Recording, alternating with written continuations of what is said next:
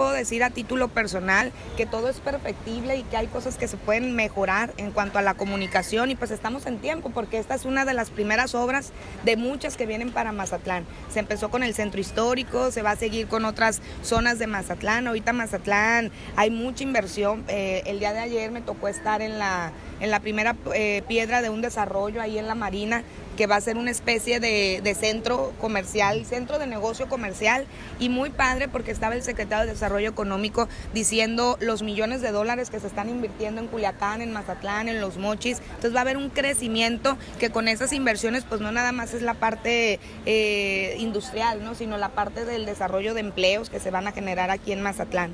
No tengo el dato, el anuncio se va a hacer oficialmente el lunes, no tengo el dato en cuanto a montos y todo, pero sí sé que es un apoyo que se va a dar como una especie de indemnización a todos los que están ahí en el centro histórico.